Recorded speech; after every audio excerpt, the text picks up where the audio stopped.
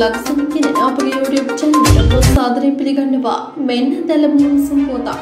කෝපන් ප්‍රදේශයේදී පොළොවලින් සහ මෝට ආයුධවලින් පාරදී පුද්ගලයෙකු ඝාතනය කිරීමේ සිද්ධියට අදාළව මියගිය පුද්ගලයාගේ බිරිඳ නැන්දම්ම සහ මාමන්ටි ඇතුළු සැකකරුවන් 11 දෙනෙකු පොලිසිය මගින් අත්අඩංගුවට තිබෙනවා.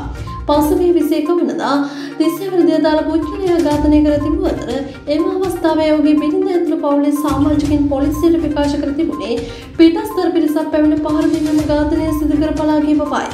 කෙසේ වෙතත් පොලිස් විමර්ශනවලදී මෙම ඝාතනයට පවුලේ සමාජිකයන් සම්බන්ධයක් ඇති බවට කරුණානාවරණය වී තිබෙනවා. මෙවැනි උණුසුම් පුවත් ලස්සනින් දැන ගැනීමට අපගේ YouTube චැනලය සබ්ස්ක්‍රයිබ් කර බෙල් අයිකනය ක්‍රියාත්මක කරන්න.